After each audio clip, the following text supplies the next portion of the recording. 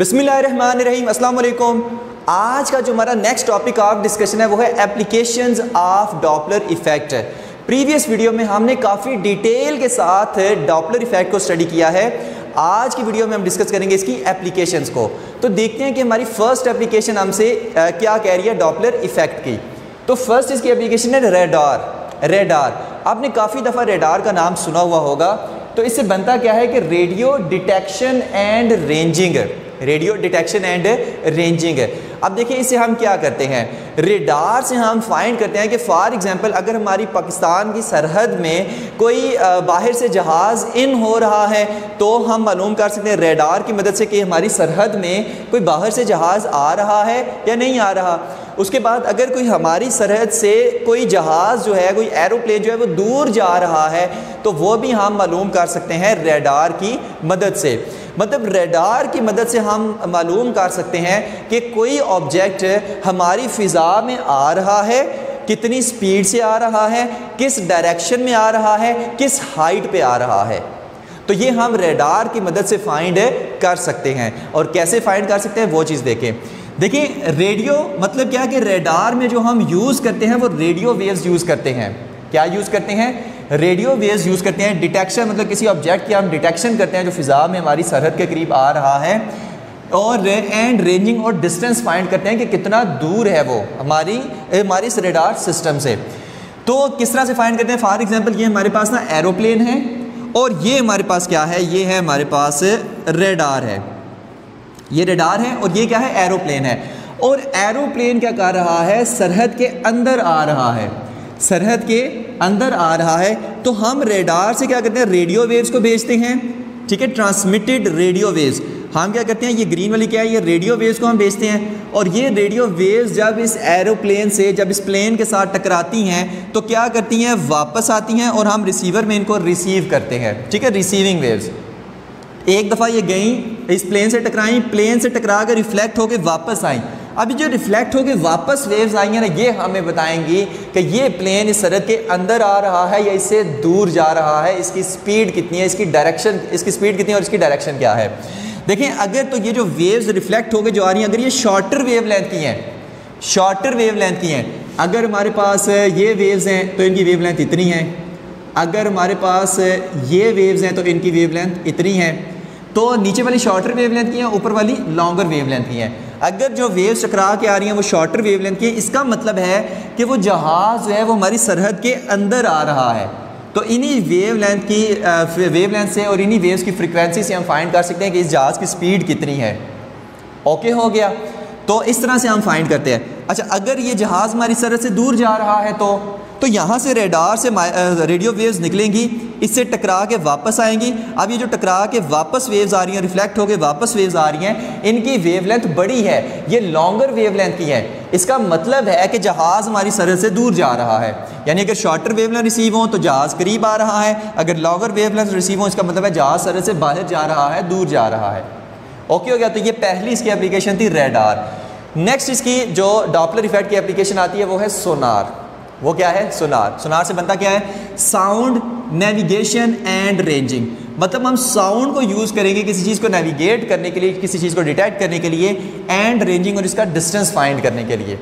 अब सोनार क्या टेक्निक है? इसमें हम ना अल्ट्रासोनिक साउंड यूज़ करते हैं मतलब अल्ट्रा साउंड वेव्स यूज़ करते हैं, जिनकी फ्रिक्वेंसी काफ़ी ज़्यादा होती है.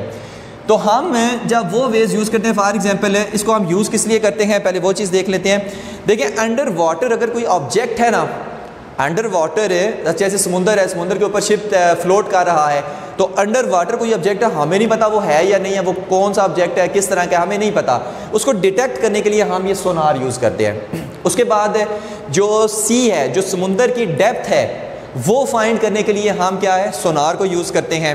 यानी कहाँ पर डेप्थ ज़्यादा है, कहाँ पर डेप्थ कम है तो उसके लिए हम सोनार को यूज़ करते हैं, यानी साउंड वेव्स को यूज़ करते हैं। अब किस तरह से यूज़ करते हैं? फॉर वो चीज़ देखते हैं, ठीक है? और सब मेरीन सब मेरीन आपको पता है पानी के अंदर फ्लोट करती हैं। अब उन सब सब मेरीन की डायरेक्शन क्या है? उन सब मेरीन की स्पीड क्या है?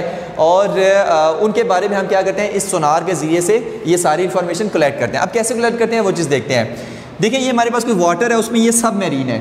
ये क्या है? सब मेरीन है। और ये शिप क्या है? वाटर के ऊपर फ्लोट कर रहा है। अब हमें नहीं पता कि नीचे कोई अबदोज, जिसको हम अबदोज भी कहते हैं सब मेरीन है या नहीं है। हमें नहीं पता। यहाँ से हम क्या करते हैं? ट्रांसमीटर होता है। इसको मैं टी से शो कर रहा हूँ। फॉर एग्ज़ाम्पल यहाँ पर क्या है? रिसीवर है, जहाज़ के नीचे ही लगे होते हैं। तो ट्रांसमीटर से हम क्या करते हैं? साउंड वेव्स को अल्ट्रा साउंड वेव्स को हम फेंकते हैं। लॉन्गिट्यूडल वेव्स होती हैं ना, और साउंड वेव्स को यूज़ करते हैं, क्योंकि ये वाटर में काफ़ी दूर तक ट्रैवल कर सकती हैं। तो साउंड वेव्स को हम यहाँ पर यूज़ करते हैं साउंड वेव्स जाती हैं सब मरीन से टकराती हैं और रिफ्लेक्ट होकर इस रिसीवर में आती हैं। अब इस रिसीवर में जब ये रिफ्लेक्ट होकर आएँगी तो ज़ाहिर है इनकी वेव लेंथ या फ्रिक्वेंसी में कोई ना कोई चेंज होगा। तो उसके ज़रिए से हम फाइंड करते हैं कि अंडरग्राउंड या जो कोई ऑब्जेक्ट है, उसकी स्पीड कितनी है और उसका हमारे इस शिप से डिस्टेंस कितना है। तो हमें पता चल जाता है। ओके हो गया। इसी तरह हम जो अंडरग्राउंड जो हमारे पास सी की डेप्थ है, जो समुंदर की डेप्थ है, वो भी हम इसे फाइंड कर सकते हैं इसी सोनार सिस्टम को यूज़ करके। हमारे पास अगर ये वाटर है, ठीक है? और मान लें यहाँ पर ना कोई चट्टान आ गई है, यहाँ पर क्या है? कोई भी चट्टान आ गई है। यहाँ पे ऐसे कोई चट्टान है और यहाँ पे कुछ ऐसे कोई बड़ी सी चट्टान है, यहाँ पे कुछ इस तरह की ऐसे ना चट्टानें बनी हुई हैं। जहाँ पर चट्टान ऊँची है, यहाँ पर बहुत ज़्यादा गहराई में गई हुई है, यहाँ पर चट्टान थोड़ी सी ऊपर है। तो हम क्या करेंगे, जो साउंड वेव्स हम भेजते हैं, जो इको की सेंस में हमारे पास वापस आती हैं, ये क्या है ट्रांसमीटर ये क्या है रिसीवर है। तो अगर ट्रांसमीटर से वेव्स निकली और इस चट्टान से टकरा के ऐसे वापस आ गई तो हमारे पास इन जो वेव्स जो वापस आई हैं अल्ट्रा साउंड वेव वापस आई हैं, इनका डिस्टेंस क्या होगा? कम होगा। क्यों? इनका जो टाइम इनको लगा है जाने में और आने में वो कम लगा है। ठीक है? इसी तरह अगर यहाँ से जहाज़ थोड़ा सा इधर ट्रैवल करें, यहाँ से ट्रांसमीटर से वेव्स निकलें और यहाँ पे टकराएँ, यहाँ से वापस आएँ तो ज़ाहिर है टाइम ज़्यादा लगेगा। अगर टाइम ज़्यादा लग रहा है, इसका मतलब है कि जो डिस्टेंस है वो यहाँ पर ज़्यादा है, यानी यहाँ पर समुंदर की गहराई ज़्यादा है। तो समुंदर की कहाँ पर गहराई ज़्यादा है कहाँ पर गहराई कम है वो चीज़ हम फाइंड करने के लिए लोकेट करने के लिए हम ये सोनार सिस्टम को यूज़ करते हैं और हम साउंड वेव्स को यूज़ करते हैं। और ये अल्ट्रा साउंड वेव्स जब टकरा के वापस आती है एक इको प्रोड्यूस होती है उसी इको को हम रिसीव करते हैं जिसके ज़रिए से हमें पता चल जाता है कि अंडरग्राउंड जो आ, सी की सॉरी अंडर वाटर जो सी की डेप्थ है वो कितनी है? या अंदर कोई ऑब्जेक्ट है, जैसे सब मेरीन है या दोज जिसको हम कहते हैं, अगर वो है तो उसकी स्पीड कितनी है, उसका डिस्टेंस कितना है हमारे शिप से, और उसकी डायरेक्शन किधर है, वो जा किधर रही है? ये सारी चीज़ें हम क्या कर सकते हैं? इस सोनार सिस्टम से फाइंड कर सकते हैं।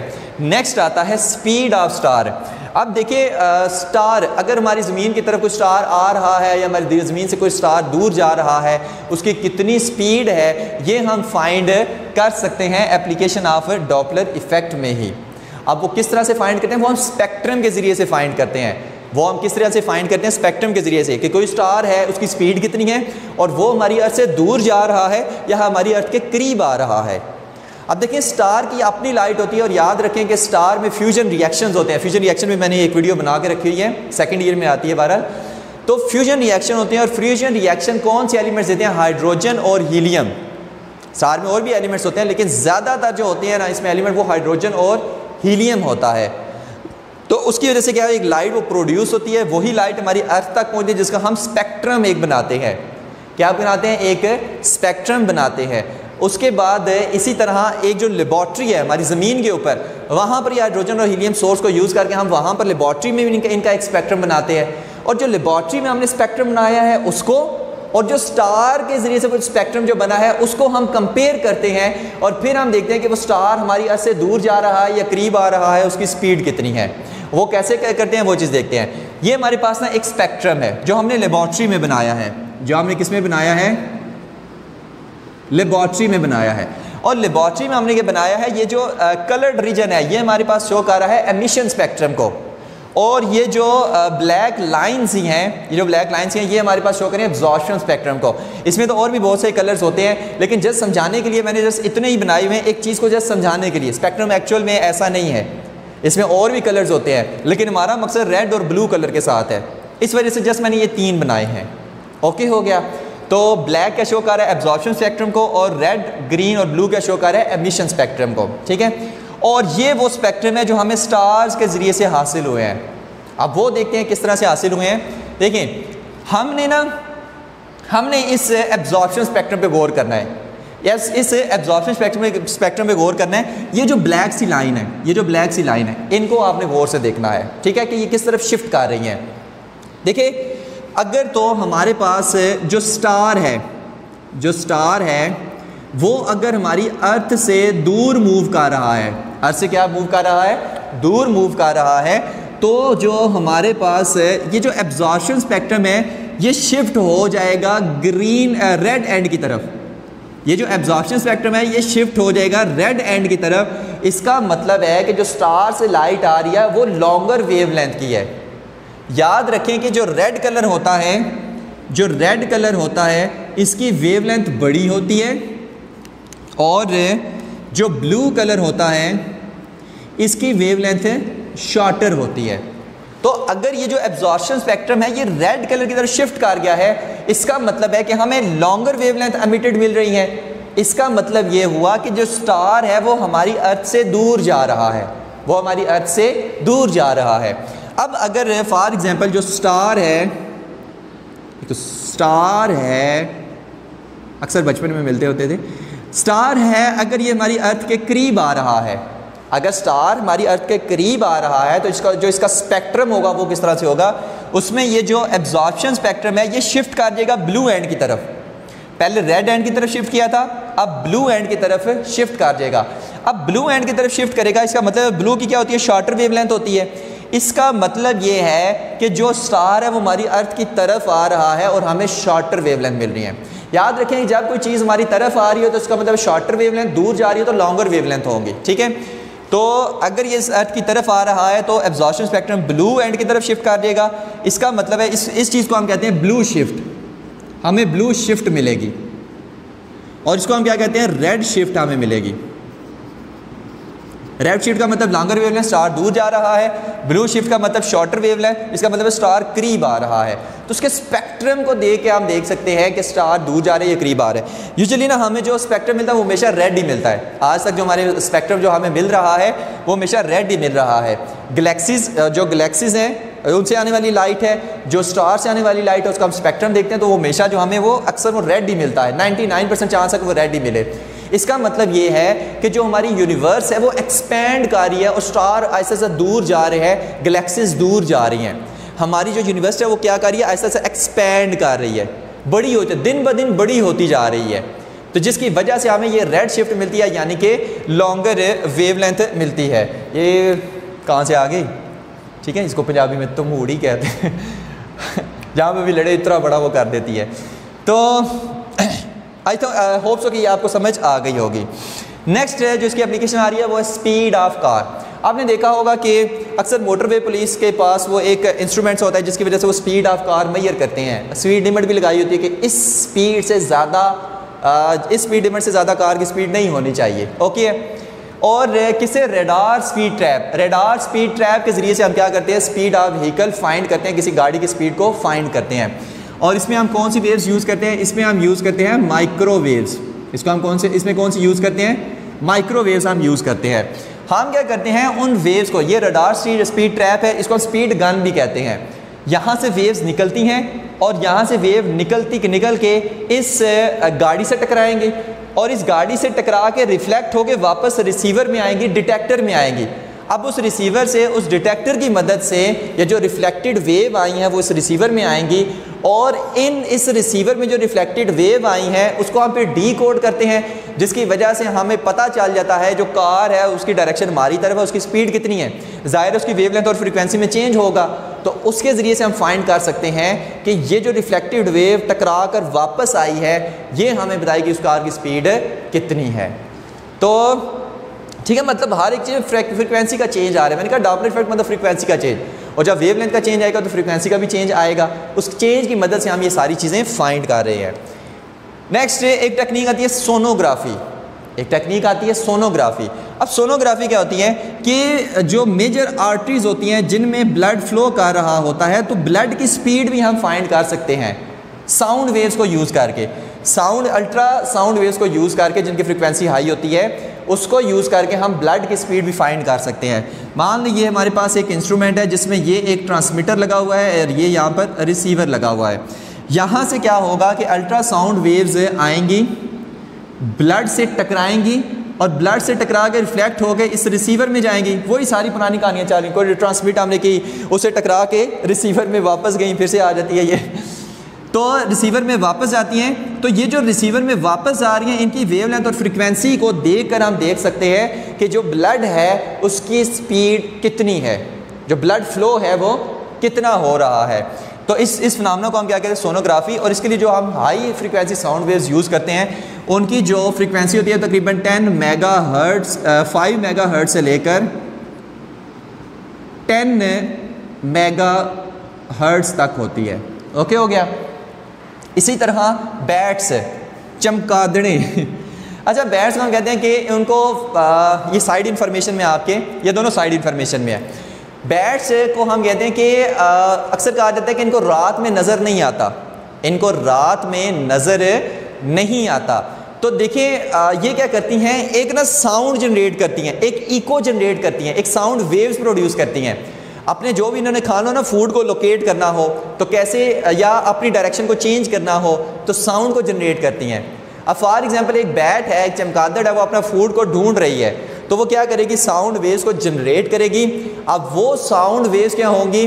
उस इंसेक्ट के साथ, उस ऑब्जेक्ट के साथ टकरा के वापस आएँगी, ये उनको डिटेक्ट करेगी, और क्या करेगी? उस तरफ़ जाएगी, और उस इंसेक्ट को खा जाएगी। यानी कि ये साउंड वेव्स मुँह से निकालती है और वो टकरा के जब उस फ़ूड से टकरा के वापस आती हैं इसकी तरफ़ तो वहाँ से ये फिर देखती है कि वो फ़ूड कहाँ पर है और ये जाकर खा लेती है। अब सवाल ये पैदा होता है कि ये साउंड वेव्स प्रोड्यूस करती है, वो हमें सुनाई क्यों नहीं देती? देखिए ह्यूमन ईयर की जो फ्रिक्वेंसी सुनने फ्रिक्वेंसी ऑफ़ साउंड सुनने की जो रेंज होती है ना आई थिंक ट्वेंटी हर्ट से लेकर ट्वेंटी थाउज़ेंड हर्ट्स तक होती है। यहाँ तक इंसानी कान आराम से साउंड सुन सकता है, इतनी फ्रिक्वेंसी का साउंड सुन सकता है। बट ये जो बैट ये साउंड जो प्रोड्यूस करती है, वो होता है वन सिक्सटी थाउज़ेंड हर्ट्स का, जो हमारा कान सुन नहीं सकता। तो आप अक्सर के अक्सर के जहन में यही क्वेश्चन आता है कि ये ये साउंड सुनाई क्यों नहीं देता? भाई उसकी फ्रिक्वेंसी बहुत ज़्यादा हाई होती है। और हमारा कान, जो ईयर है, वो इतना कैपेबल नहीं है कि उस फ्रिक्वेंसी को सुन सके। तो ये जो है वो बैट्स इस तरह रात को मूव करती हैं, अपने मुँह से वो साउंड निकाल के वो जो जब रिलेक्ट होकर वापस आता है तो उस तरह ये डायरेक्शन वगैरह को चेंज करती हैं फ़ूड वगैरह को लोकेट करती हैं और उस फ़ूड को खाती हैं। तो ये भी एक कुदरत का ही निज़ाम है। तो ये था हमारा आज का topic application of application of Doppler effect यहाँ पर चैप्टर नंबर एट के तमाम टॉपिक्स की वीडियोस कंप्लीट होती है. नेक्स्ट वीडियो इंशाल्लाह होगी इसके एक्सरसाइज के शार्ट क्वेश्चंस की, फिर न्यूमेरिकल्स की, और उसके बाद ये चैप्टर ख़त्म. तो होप्स हो कि आपको लेक्चर समझ आ गया होगा. थैंक यू वेरी मच अल्लाह हाफिज़.